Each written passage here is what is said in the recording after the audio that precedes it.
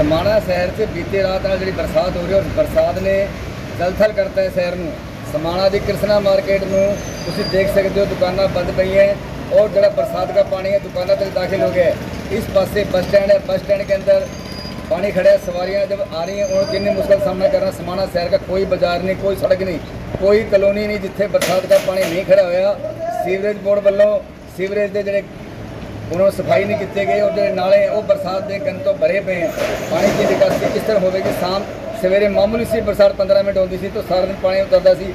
ਅੱਜ ਤੋਂ ਬਰਸਾਤ 4 ਘੰਟੇ ਤੋਂ ਵੱਧ ਵਕਤ ਹੋ ਗਿਆ ਜਿਸ ਦੇ ਕਰਕੇ ਪੂਰਾ ਸ਼ਹਿਰ ਜਲਥਲ ਹੋ ਗਿਆ ਲੇਕਿਨ ਪਿਛਲੇ 40 ਸਾਲ ਤੋਂ ਇਸ ਸ਼ਹਿਰ ਦੇ ਲੋਕ ਇਸ ਸਮੱਸਿਆ ਤੋਂ ਜੂਝ ਰਹੇ ਹਨ ਲੇਕਿਨ ਸਰਕਾਰਾਂ ਵੱਲੋਂ ਕਿਸੇ ਪਾਸੇ ਇਸ ਪਾਸੇ ਧਿਆਨ ਨਹੀਂ ਦਿੱਤਾ ਜਾ ਰਿਹਾ ਜਿਸ ਕਰਕੇ ਦੁਕਾਨਦਾਰਾਂ ਦਾ ਤੇ ਆਮ ਲੋਕਾਂ ਦਾ ਨੁਕਸਾਨ ਹੁੰਦਾ ਹੈ। ਕਹਿੰਦੇ ਸ਼ਹਿਰ ਕੇ ਤੁਸੀਂ ਆਏ ਹੋ? ਆਪ ਨਹੀਂ ਸ਼ਹਿਰ ਦੇ ਬੜੇ ਸ਼ਹਿਰ 'ਚ ਰਹੀ ਨਾ।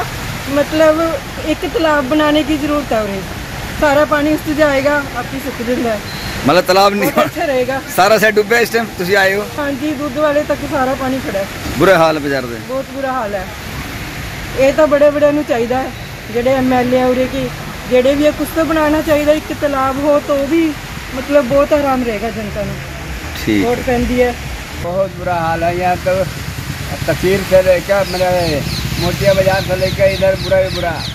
कितना कितने पानी है? घोड़े जाएँगे तो कमर तक पानी आता। हम्म, डूबे पड़े। फिर पक्की रोड से आए घूम के। बड़ा बुरा हाल बहुत। पानी पानी खड़ा। हाँ जी सर खड़ करे पानी खड़े दिन तो कई साल हो गए जी। हम्म। कई साल हो गए। कोई प्रॉब्लम नहीं कितना गया? ਹਜੇ ਤੱਕ ਤਾਂ ਕੁਝ ਨਹੀਂ ਹੋਇਆ ਜੀ। ਘਰਾਂ 'ਚ ਲੰਘਣਾ ਔਖਾ ਹੁੰਦਾ ਜੀ। ਹਾਂਜੀ ਅੱਜ ਮੇਰੀ ਗੁੜੀਆ ਦੀ ਸਵੇਰੇ ਸਕੂਟਰੀ ਖੜ ਗਈ ਜੀ ਉਰੇ। ਉਹ ਕਿਸੇ ਦੇ ਘਰ ਖੜਾ ਕੇ ਗਈ ਆ। ਸਕੂਲ ਜਾਣਾ ਸੀਗਾ ਉਹਨੇ ਜ਼ਰੂਰੀ। ਨਾ ਫਿਰ ਕਿਸੇ ਨਾਲ ਭੇਜੀ ਹੈ ਜੀ ਸਕੂਲ। ਹੁਣ ਬੱਚੇ ਜਿਹੜੇ ਸਕੂਲ ਜਾਂਦੇ ਉਹਨਾਂ ਨੂੰ ਬਹੁਤ ਔਖਾ ਹਾਂਜੀ ਹਾਂ।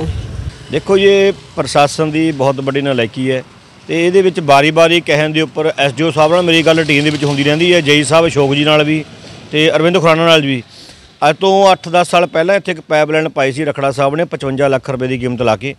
ਜਿਹਦੀ ਅੱਜ ਤੱਕ ਕਦੇ ਸਫ਼ਾਈ ਨਹੀਂ ਹੋਈ, ਉਹ ਮੈਨੂੰ ਅੱਜ ਤੋਂ ਡੇਢ ਦੋ ਮਹੀਨੇ ਪਹਿਲਾਂ ਹੀ ਪਤਾ ਲੱਗਿਆ ਵੀ ਇੱਥੇ ਕੋਈ ਲੈਣ ਪਈ ਹੋਈ ਹੈ। ਤੇ ਉਹ ਮੈਂ ਲੈਣ ਸਫ਼ਾਈ ਵਾਸਤੇ ਅਰਵਿੰਦ ਜਿਹੜੇ ਖੁਰਾਨਾ ਜੀ ਐਸਡੀਓ ਨੇ ਬਾਰੀ-ਬਾਰੀ ਕਹਿਣ ਦੇ ਉੱਪਰ ਵੀ ਉਹਨਾਂ ਨੇ ਹਲੇ ਤੱਕ ਲੈਣ ਸਾਫ਼ ਨਹੀਂ ਕਰਾਈ। ਇੱਕ ਇੱਕ ਹੌਦ ਕੱਢ ਕੇ ਮਿੱਟੀ ਦਾ ਵਿੱਚੋਂ ਕੱਢ ਕੇ ਦੁਬਾਰੇ ਇੱਥੇ ਕੋਈ ਕੰਮ ਕਰਨ ਨਹੀਂ ਆਇਆ। ਤੇ ਇੱਕ ਜਿਹੜੀ ਸਾਡੀ ਇੱਥੇ ਜੈਡਿੰਗ ਮਸ਼ੀਨ ਲਿਆਂਦੀ ਹੋਈ ਹੈ, ਉਹ ਇੱਕ ਚਿੱਟਾ ਹਾਥੀ ਬਣ ਕੇ ਖੜਾ ਹੈ। ਉਹ ਕਿਸੇ ਕੰਮ ਦੀ ਨਹੀਂ। ਜਦੋਂ ਵੀ ਮਸ਼ੀਨ ਮੰਗਦੇ ਹਾਂ ਅਸੀਂ ਸਫ਼ਾਈ ਕਰਨ ਵਾਸਤੇ, ਉਹ ਕਹਿੰਦੇ ਨੇ ਪੈਪ ਖਰਾਬ ਹੈ। ਕਿਉਂ ਜੀ? ਜਦੋਂ 55 60 ਲੱਖ ਰੁਪਏ ਲਾ ਕੇ ਮਸ਼ੀਨ ਲਿਆਂਦੀ ਗਈ ਹੈ, ਉਹ ਪੈਪ ਖਾਰ- ਖਰਾਬ ਕਰਨ ਵਾਸਤੇ ਲਿਆਂਦੀ ਗਈ ਹੈ। ਤੇ ਇੱਕ ਮੈਨੂੰ ਇਹ ਦੱਸਿਆ ਜਾਵੇ, ਜਿਹੜੀ ਮਸ਼ੀਨ ਹੈ, ਇਹ ਪਿੰਡਾਂ ਵਾਸਤੇ ਲਿਆਂਦੀ ਹੋਈ ਹੈ ਸ਼ਹਿਰ ਵਾਸਤੇ ਲਿਆਂਦੀ ਹੋਈ ਹੈ। ਪਿੰਡਾਂ ਦੇ ਵਿੱਚ ਤਾਂ ਮਸ਼ੀਨ ਜਦੋਂ ਜਾਂਦੀ ਹੈ, ਉਦੋਂ ਜਿਹੜਾ ਪੈਪ ਠੀਕ ਹੋ ਜਾਂਦਾ ਹੈ। ਜਦੋਂ ਸ਼ਹਿਰ ਵਾਸਤੇ ਮਸ਼ੀਨ ਮੰਗਦੀ ਹੈ, ਉਸ ਟਾਈਮ ਪੈਪ ਖਰਾਬ ਹੋ ਜਾਂਦਾ ਹੈ। ਮੈਂ ਬੇਨਤੀ ਕਰਦਾ, ਪੰਜਾਬ ਸਰਕਾਰ ਨੂੰ ਵੀ ਕਰਦਾ ਤੇ ਸਾਡੇ ਪ੍ਰਸ਼ਾਸਨ ਨੂੰ ਵੀ ਸੰਬੰਧਿਤ ਮਹਿਕਮੇ ਨੂੰ ਬੇਨਤੀ ਕਰਦਾ? ਵੀ ਸਾਡੇ ਸਿੱਖ ਕਲੋਨੀ, ਜਿਹੜਾ ਸਾਡੀ ਕਲੋਨੀ ਹੈ ਦੇ ਵਿੱਚ ਧਿਆਨ ਦਿੱਤਾ ਦਿੱਤਾ ਜਾਵੇ। ਇੱਕ ਮੈਂ ਸਾਡੀ ਬੰਮਣਾ ਗਲੀ ਸਾਡੀ ਮੇਰੇ ਜਿੱਥੇ ਮੇਰੇ ਆਪਣੇ ਘਰ ਨੇ, ਮੇਰੇ ਹੁਣ ਤੁਸੀਂ ਦੇਖ ਸਕਦੇ ਹੋ, ਮੇਰੇ ਆਪਣੇ ਘਰੇ ਵੀ ਪਾਣੀ 21 ਫੁੱਟ ਪਾਣੀ ਖੜਾ ਹੈ। ਸਭ ਤੋਂ ਇਲਾਕੇ ਦੀ ਸਭ ਤੋਂ ਨੀਵੀਂ ਗਲੀ ਹੈ। ਮੈਂ ਈਓ ਸਾਹਿਬ ਨੂੰ ਲੈਟਰ ਲਿਖ ਕੇ ਦਿੱਤਾ ਹੋਇਆ ਵੀ ਇਹ ਗਲੀ ਨੂੰ ਉੱਚੇ ਕੀਤਾ ਜਾਵੇ ਤੇ ਜਿਹੜੇ ਨਾਲ ਹੋਰ ਨਾਲ ਲੱਗਦੀਆਂ ਗਲੀਆਂ ਨੇ, ਉਹਦੇ ਵਿੱਚ ਜਿਹੜੀ ਇੱਕ ਵਾਟਰ ਲਾਈਨ ਹੈ ਉਹ ਪਵਾਈ ਜਾਵੇ ਤੇ ਜਿਹੜੇ ਪੁਰਾਣੀਆਂ ਲਾਈਨਾਂ ਬਣੀਆਂ ਹੋਈਆਂ ਨੇ, ਉਹਨੂੰ ਸਾਫ਼ ਕਰਕੇ ਜਿਹੜੀ ਪ- 40 ਇੰਚੀ ਜਾਂ 45 ਇੰਚੀ ਲਾਈਨ ਵੱਡੀ ਲਾਈਨ ਰੋਡ ਦੀ ਪਈ ਹੈ, ਉਹਦੇ ਨਾਲ ਜੋੜਿਆ ਜਾਵੇ। ਘੱਟੋ ਘੱਟ ਮੇਰੀ 8-10 ਵਾਰੀ ਮੀਟਿੰਗ ਹੋ ਚੁੱਕੀ ਹੈ ਈਓ ਸਾਹਿਬ ਨਾਲ ਹੋ ਚੁੱਕੀ ਹੈ ਤੇ ਮ- ਜੋੜਾ ਮਾਜਰਾ ਨਾਲ ਵੀ ਕਿਸੇ ਹੱਥ ਰਾਹੀਂ ਸੁਨੇਹਾ ਭੇਜ ਚੁੱਕਿਆ ਵੀ ਜਿਹੜੀ ਲਾਈਨ ਹੈ, ਬੱਸ ਸਟੈਂਡ ਰੋਡ ਦੀ ਲਾਈਨ ਹੈ, ਇਹਨੂੰ ਇੱਕ ਤਾਂ ਜਿਹੜੀ ਵਾਟਰ ਲਾਈਨ ਹੈ, ਉਹ ਨਵੀਂ ਇੱਕ ਪਾਈ ਜਾਵੇ ਤਾਂ ਕਿ ਸ਼ਹਿਰ 'ਚ ਪਾਣੀ ਨਾ ਖੜੇ।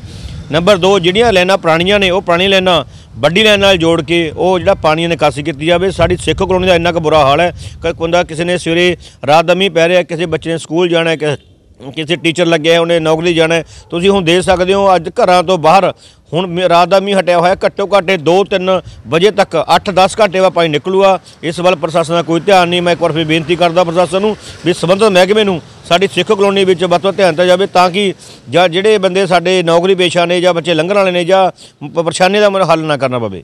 ਹਾਲਾਤ ਬਹੁਤ ਖਰਾਬ ਹੈ ਜੀ, ਹਰ ਸਾਲ ਸਾਫ਼ ਸਫ਼ਾਈ ਹੁੰਦੀ ਪਰ ਕੋਈ ਫਾਇਦਾ ਨਹੀਂ ਹੈ, ਸਾਫ਼ ਸਫ਼ਾਈ ਦਾ ਜਿਸ ਦਾ ਵੀ सीवरेज नहीं है जी कोई मतलब रुक जाते हैं सीवरेज भी कोई चंगी तरह सफाई नहीं है कमेटी को या सरकार ਨੂੰ ਚਾਹੀਦਾ ਜੀ ਦੁਕਾਨਦਾਰਾਂ ਦਾ ਕਿੰਨਾ ਨੁਕਸਾਨ ਹੋ ਰਿਹਾ ਹੈ ਦੁਕਾਨਦਾਰ ਦਾ ਨੁਕਸਾਨ ਹੈ ਜੀ ਬਾਰਿਸ਼ ਜ਼ਿਆਦਾ ਪਾਣੀ ਖੜ ਜਾਂਦਾ ਜੀ ਸ਼ਟਰਾਂ ਗਿਰ ਕੇ ਬੰਦ ਜਾਣਾ पड़ता जी नहीं तो सारा सामान गिला हो जाता जी हम्म, दुकानें तो इस कृष्णा मार्केट के अंदर की पोजीशन कृष्णा मार्केट के अंदर बहुत बुरा हाल है जी बहुत ही बुरा हाल है जो अपन आज बंद करिए शटर तो सारी दुकानों के अंदर पानी जाता है जी कोई दुकानदार का पैसे का नुकसान होता है पैसे का नुकसान होता है जी चीज़ों का नुकसान होता है जी गड्ढे सड़कों पे गड्ढे बहुत हैं जी लोग गिरते भी हैं खड्डिया के गिरते हैं जी अभी अभी रिक्शा वाला गिर गया जी बच्चे की चोट आई है जी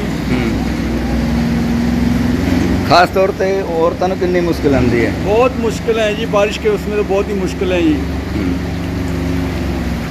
कैमरामैन प्रथम के नाल पुरुषोत्तम कौशिक समाना न्यूज